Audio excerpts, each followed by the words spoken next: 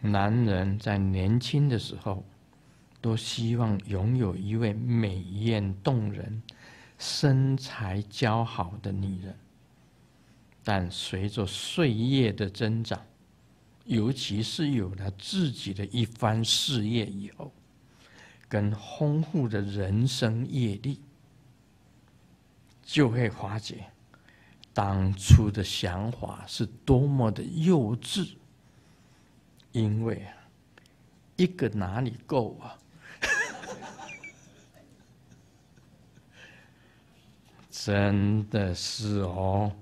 这个就是人间的欲望，人本身的欲望就是这样子。啊，师母今天在这个这个饭桌上，我们大家在评论那个插花，评论那个插花，啊。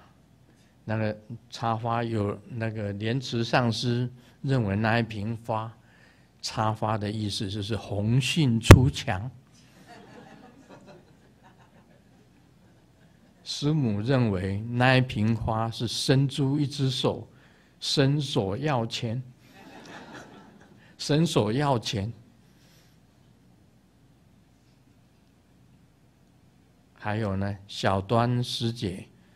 他认为啊，那个是一支花箭射向师尊。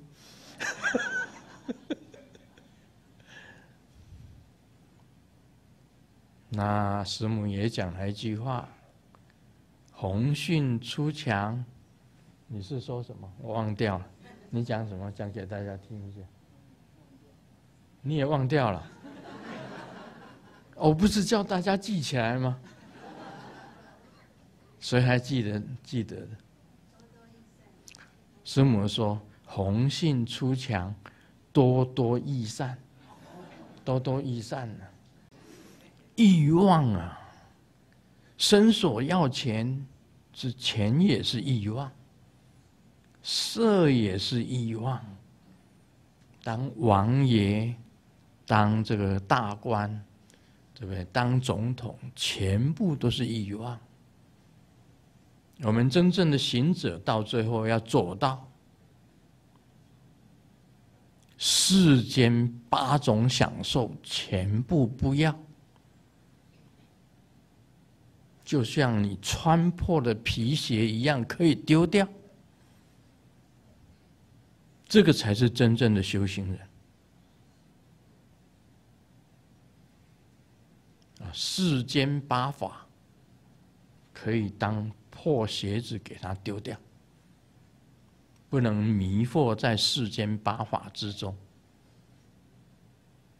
这个修行才会成就的。